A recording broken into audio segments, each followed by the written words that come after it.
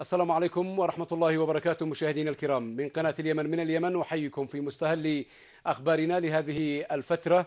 بادئا إياها بسم الله الرحمن الرحيم. عقدت جلسة للجنة الأسرى والمعتقلين مساء أمس في قصر بيان بدولة الكويت بحضور مندوب من الأمم المتحدة. اللجنة استأنفت مناقشة اتفاق المبادئ المتعلق بالأسرى والمعتقلين. هذا ومن المتوقع أن تستكمل اللجنة النقاش حول اتفاق المبادئ في جلسة اليوم.